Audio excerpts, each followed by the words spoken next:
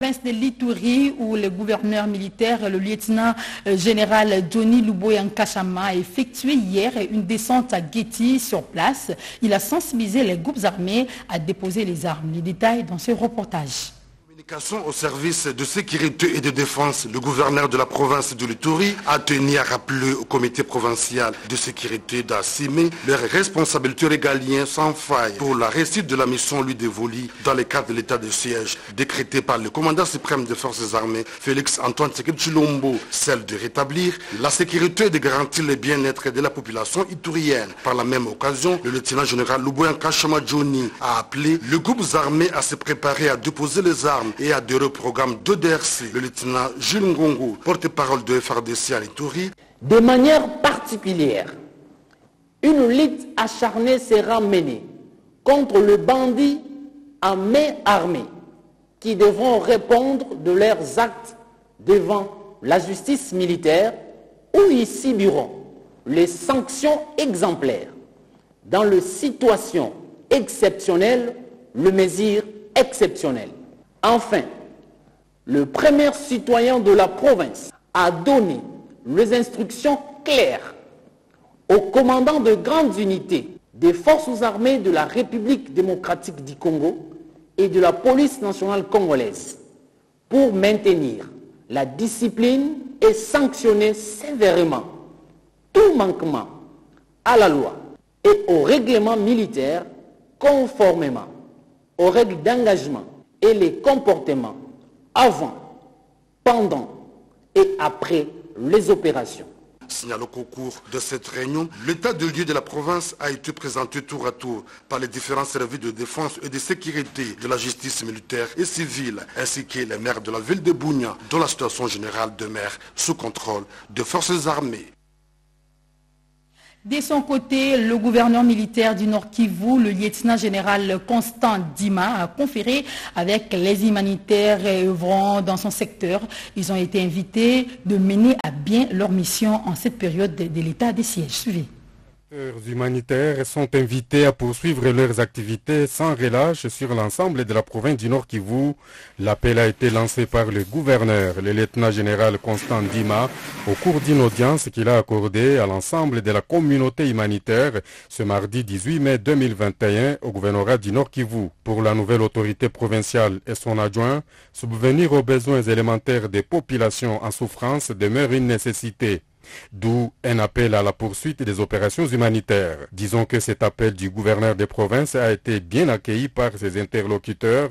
Ces derniers se disent prêts à accompagner la nouvelle équipe des exécutifs provinciales du Nord Kivu, comme le confirme Diego Zorilla, coordonnateur humanitaire adjoint des Nations Unies en RDC. On a reçu un message euh, très fort de soutien de la part du, gouverneur euh, militaire et du vice-gouverneur. Ils veulent que les actions humanitaires continuent. Ils veulent qu'on puisse continuer à opérer dans la province. On a expliqué que nous, on opère d'après le principe d'humanité et de neutralité, d'impartialité. On n'est pas allié des, militaires, mais on comprend que les opérations militaires en cours risquent de provoquer euh, des situations, des nouvelles situations humanitaires et on a demandé à ce que ces situations soient minimisées pour la population et qu'on puisse continuer à faire notre travail. On a reçu des assurances dans ce sens. Faisant d'une pierre deux coups, M. Diego Zorilla a brossé la situation humanitaire qui reste catastrophique dans tous les territoires de la province. Il espère cependant que les choses pourraient s'améliorer avec le rétablissement de la sécurité notamment. Nous avons dans tous les territoires, vous avez à Béni des, centaines de milliers de personnes qui se sont déplacées à cause des affrontements, euh, armés depuis, euh, depuis le début de l'année. Nous espérons qu'avec une amélioration de la situation de sécurité, euh, ce n'est pas normal que, la situation humanitaire puisse s'améliorer. Ce n'est pas normal qu'on parle d'insécurité alimentaire dans un pays qui est aussi fertile comme, euh, euh, le, Congo. Nous devons vraiment tous œuvrer pour la paix de façon à ce que le développement puisse s'installer et que les humanitaires n'ont plus besoin d'assistance humanitaire. À l'Assemblée nationale, le réchauffement de la coopération bilatérale entre Kinshasa et Séoul, l'ambassadeur de la Corée du Sud s'est entretenu avec le président de la Chambre basse du Parlement, Christophe Mbosso. De quoi ont-ils parlé? La réponse avec l'ambassadeur de la Corée du Sud. Sylvie Moembo, Bernard Bodo et Guy Aloma ont signé ce reportage.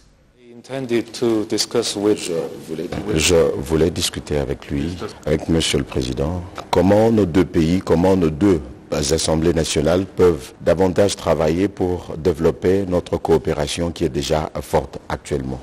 Nous nous sommes mis d'accord avec le président de l'Assemblée nationale que le niveau de la coopération actuelle est solide et fort.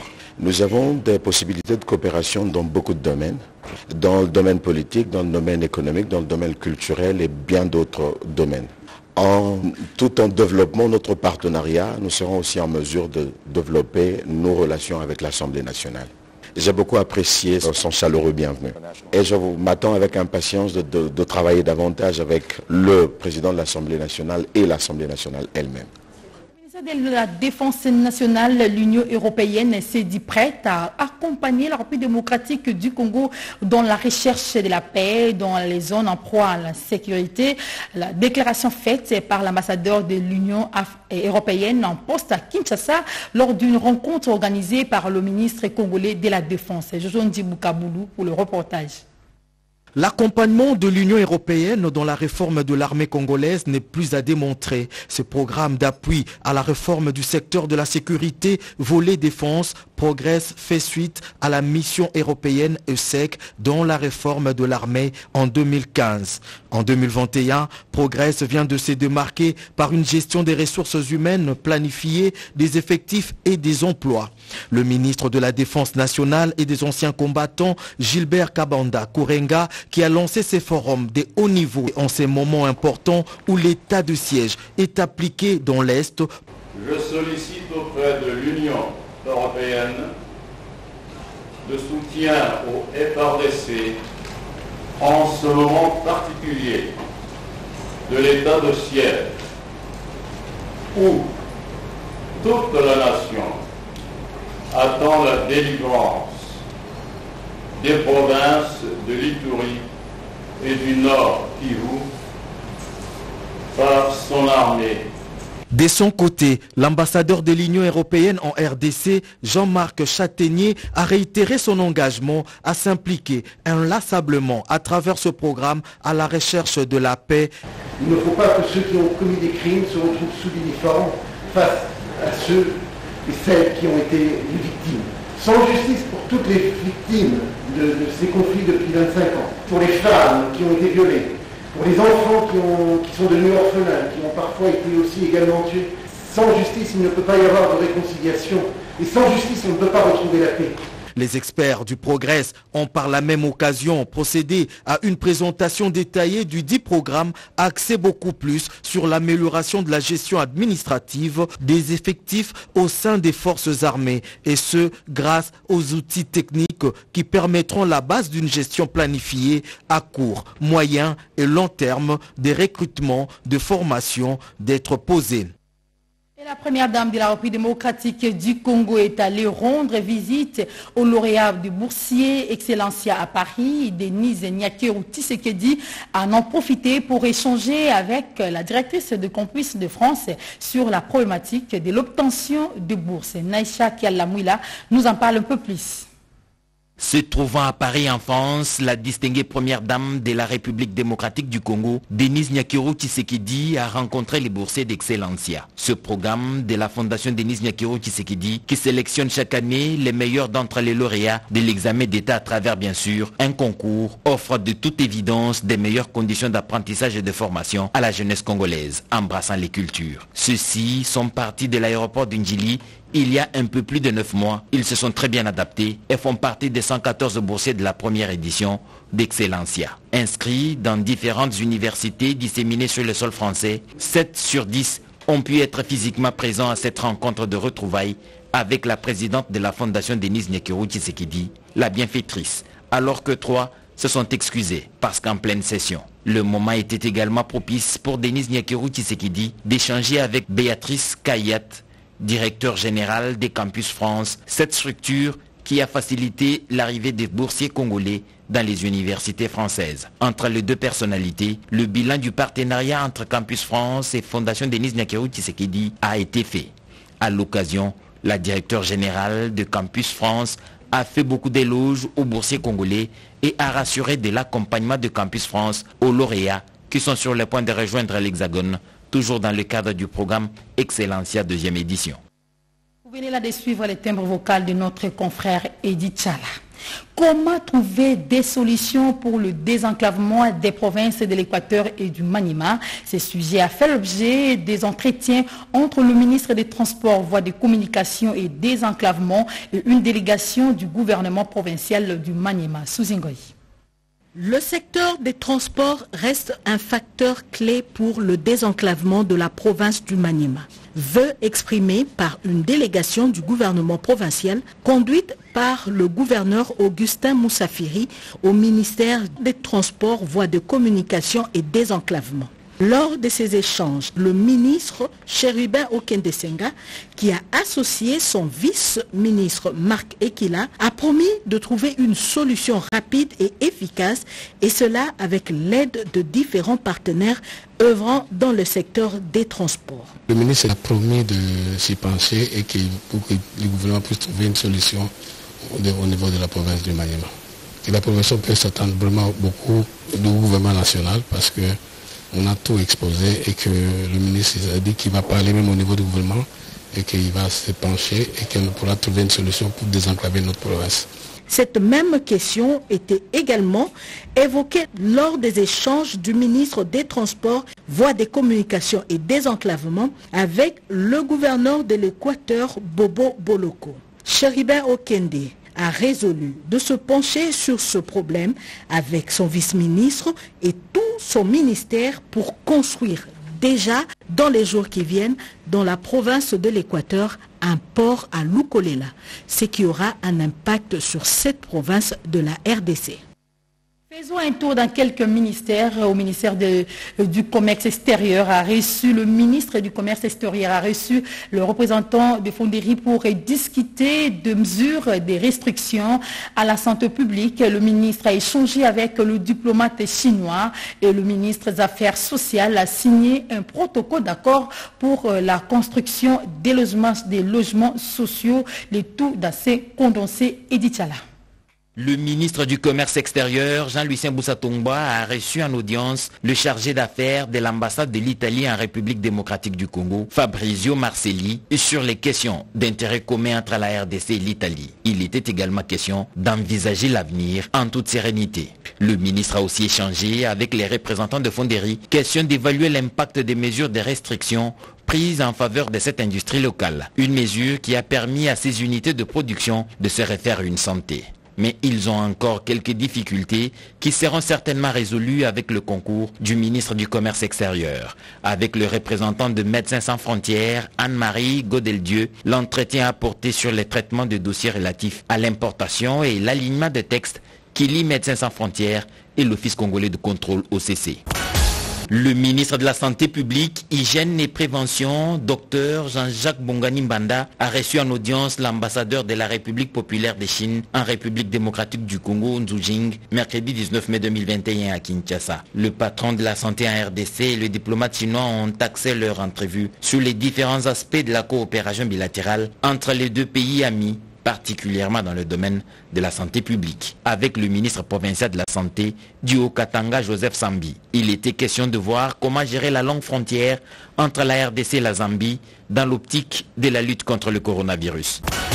La cérémonie marquant la signature de protocole entre la République démocratique du Congo, représentée par le ministre des Affaires sociales, Action humanitaire et solidarité nationale, Modeste Moutinga Mutushai, et la société Radocer, dûment représentée par Miranda Barrera Alvaro Felipe s'est tenue dans la grande salle de réunion du ministère des Affaires sociales, Action humanitaire et solidarité nationale, mercredi 19 avril 2021. Pour le ministre Modeste Moutinga, ce projet procure plusieurs avantages, entre autres le préfinancement, la création d'emplois, le transfert de technologies, le délai de remboursement étant de 15 à 20 ans, ainsi que la remise des ouvrages clés à main dans un délai raisonnable. Très souriant et confiant, Modeste Moutinga a salué l'aboutissement heureux de la signature de ce protocole d'accord tout en mettant un accent particulier sur l'objet du dit protocole d'accord.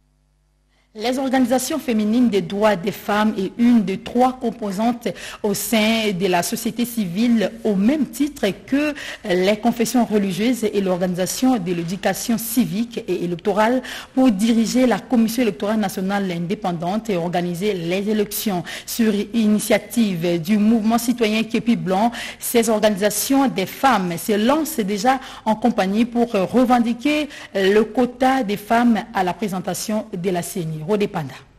La présidence de la Commission électorale nationale indépendante, la CENIN, et l'organisation des élections libres et transparentes en RDC n'est pas l'apanage de seules les confessions religieuses, qui, du reste, est une des trois composantes de la société civile partenaire du gouvernement pour la gestion du processus électoral, à savoir les confessions religieuses, les organisations féminines de défense des droits des femmes et l'organisation de l'éducation civique et électorale. La Constitution et différents textes sur la Sénine les précisent clairement. Dans cette logique, les organisations féminines et les droits des femmes, une des principales composantes. Au regard des échecs enregistrés avec la gestion de deux précédentes échéances électorales, ces femmes lèvent le ton et revendiquent la présidence de la CENI. Le mouvement citoyen Képi Blanc de la composante société civile prend cette initiative et compte fédérer toutes les voix de la communauté nationale à y adhérer. Ces femmes très engagées, confiantes et rassurées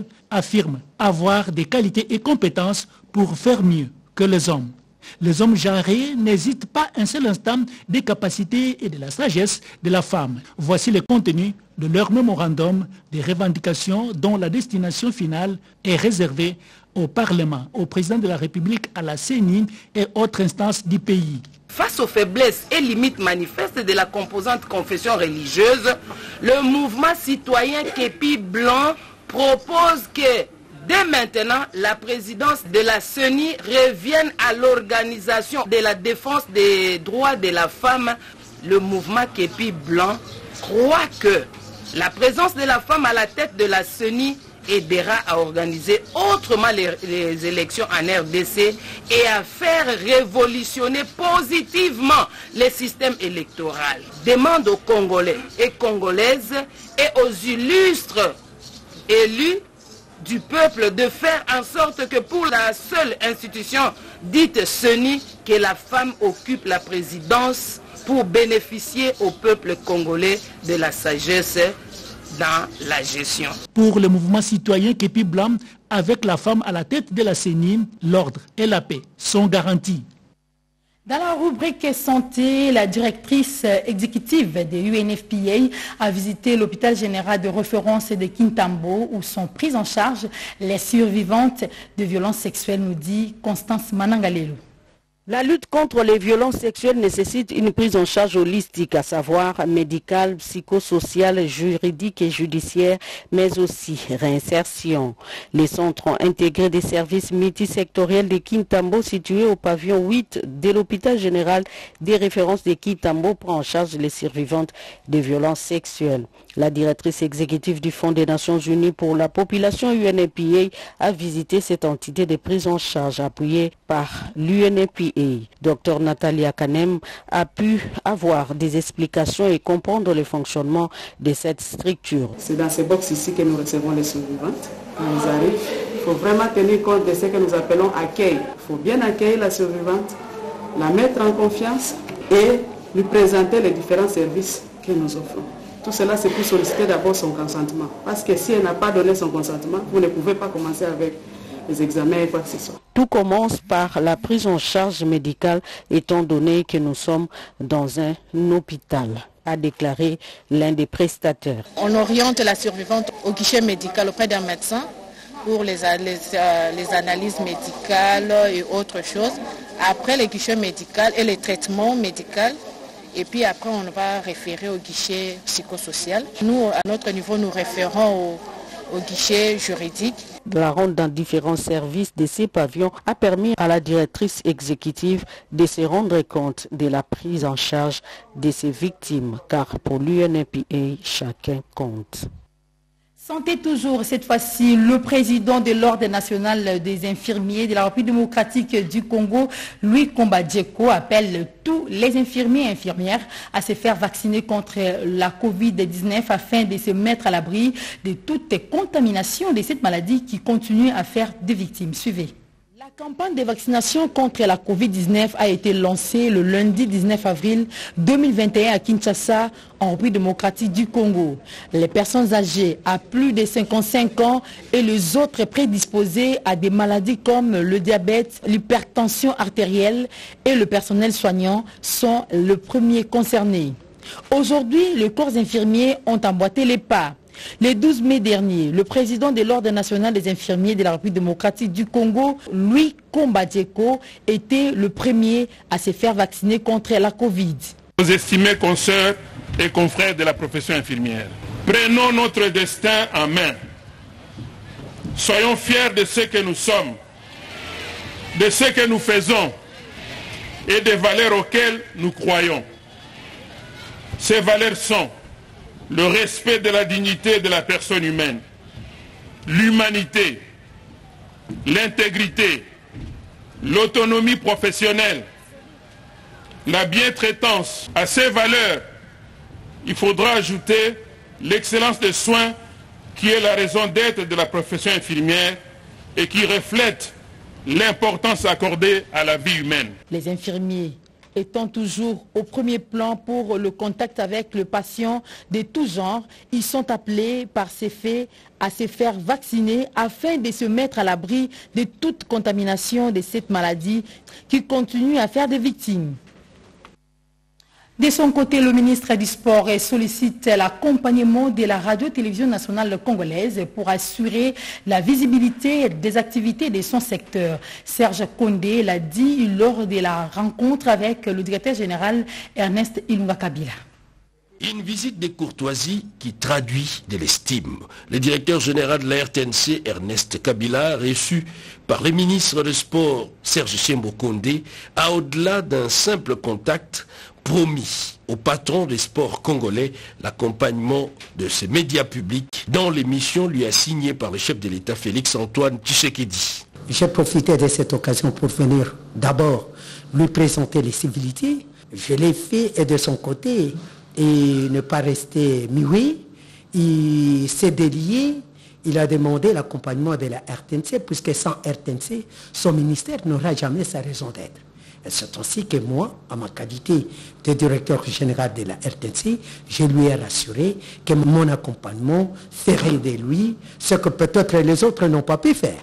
Rafler plus de médailles et hisser beaucoup plus haut les couleurs nationales, c'est la mission assignée aux représentants de la RDC au championnat d'Afrique de judo qui va se dérouler à Dakar au Sénégal. Le ministre de Sport Serge Chembo Condé y tient et met tout en œuvre pour y parvenir.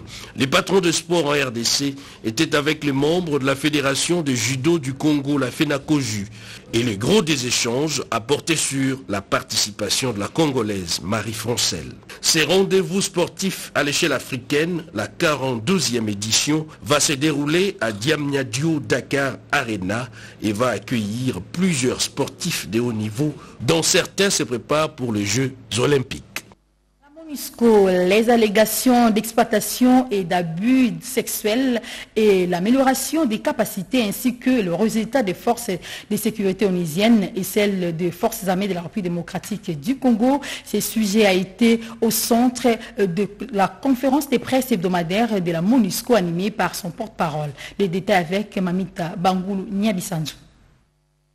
Conférence de presse des Nations Unies, quelques sujets d'actualité ont fait l'objet de la conférence de presse bimensuelle de ce mercredi 19 mai 2021. Il s'agit entre autres de la situation sécuritaire et humanitaire en RDC. Selon le porte-parole de la MONUSCO, Mathias Gilman, la MONUSCO appuie constamment les forces de sécurité du gouvernement de la RDC avec un soutien logistique en matière de protection des civils et s'engage efficacement aux côtés des FARDC pour combattre les ADF à l'est de la RDC, a-t-il confirmé. Nous, on a un mandat pour aider les forces de sécurité nationale. On essaye de le faire au mieux euh, de nos moyens. On travaille de mieux en mieux euh, avec une, coordination euh, et, une confiance qui, je pense, s'améliore à chaque fois avec l'armée congolaise. De son côté, l'invité spécial de cette conférence de presse, David McLachlan, coordonnateur humanitaire des Nations Unies en RDC, a évoqué des abus sexuels commis sur terrain. Les investigations sont faites quant à ces